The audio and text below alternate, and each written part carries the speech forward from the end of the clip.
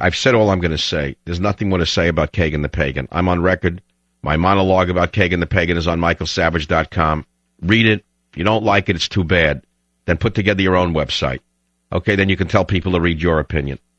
That's all. It's that simple. That's a, let's move on.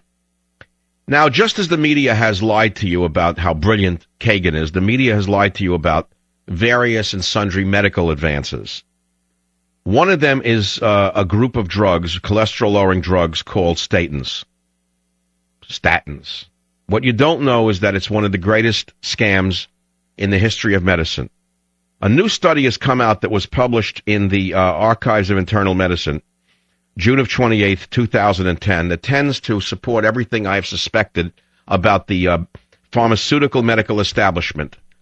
That should shock you. Now, I've told you that I tried to take them myself several times. I had very severe muscle aches and gave them up after a few days. Uh, but I'm only one out of millions of people. But if you go to your cardiologist, he will tell you uh, falsely, probably because he has been lied to by the uh, drug manufacturers, that there is a reduction of stroke and uh, heart attacks as a result of taking these this class of drugs. This study proves the opposite the cholesterol lowering cardiovascular diseases and the rosuvastatin Jupiter controversy was just published, as I say, in the Archives of Internal Medicine, was published yesterday. And it says the results of the trial do not support the use of statin treatment for primary prevention of cardiovascular diseases. And, here it comes, raise troubling questions concerning the role of commercial sponsors. Bingo.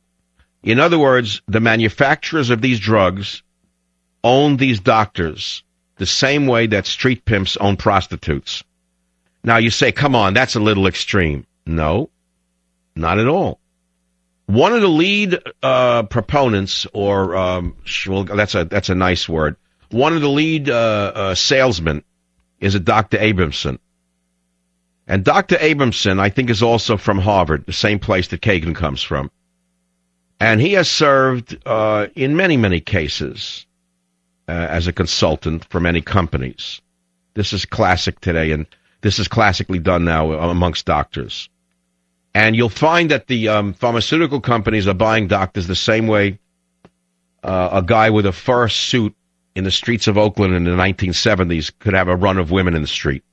The same way a guy with a big hat and a mink uh, a coat could have a run of women in the streets of Oakland, let's say 20 years ago. That's the same way the pharmaceutical companies have doctors today on their payroll who then control journals, which control uh, publications, which then control what doctors dispense to their patients.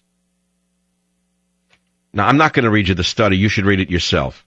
Just know that uh, these this class of drugs is not everything a doctor is telling you that they are. Number one. Number two, the pharmaceutical companies uh, have influenced the results of these scientific findings. And number three, many people are severely injured from this use of uh, drugs. Many, many people are severely injured from the use of this class of drugs and should not be taking them. There are many con- conflicts of interests in these drug trials, and they're all pointed out in this study. And you should know about this. Now you'll say, well, I didn't read that in the paper. I didn't hear that from the FDA. Why should I listen to you, a talk show host, on this? Why, my cardiologist knows more than you do.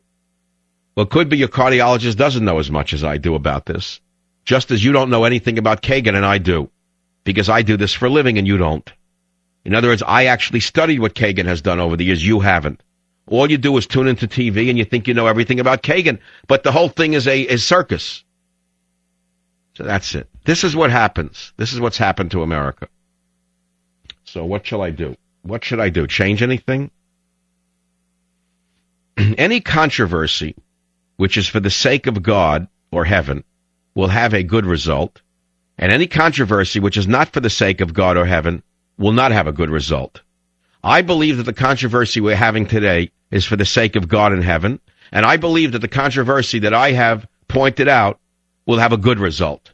I believe eventually people will come to understand that I am right about Kagan and that you have been hoodwinked once again by the government media complex. Now, there are four types of people who sit before talk show hosts. Some of you are like sponges, some of you are like funnels, some of you are like strainers, and some of you are like sieves. Some of you are like a sponge which absorbs everything. Some of you are like a funnel which takes in from one end what I say and spills it out from the other. Some of you are like a strainer which allows the wine to spill out and retains the sediment. And then some of you are uh, the best kind. You're like a sieve which allow the flour dust of my sayings to pass through and you retain the fine flour. That's the savage nation. Charles in Boston, WRKO calls. Welcome to the show. Yeah, Dr. Savage, I just wanted to say, uh, Elena Kagan, um, you know, she, I know you don't want to talk about it anymore, but she shows a lack of reverence and sobriety uh, to such a pious holiday that's important to other Americans. You know, main, thank you. Uh, that's right, Chinese restaurant Christmas. I get it. Yep. That's right. Well, what would you expect from a liberal from Harvard? Would you expect her to love Christians and Christmas? Would you expect her to revere the Constitution or spit on the Constitution and say that she's smarter than the old white men who wrote it? Remember, this woman rose as a radical feminist who wanted to up the patriarchy. You understand that? So therefore, any any patriarch who run anything is garbage to her. That's right. Her and the other uh, bunch, they all think the same. They have no respect. They think exactly the same. That's exactly right. That's exactly what we have here.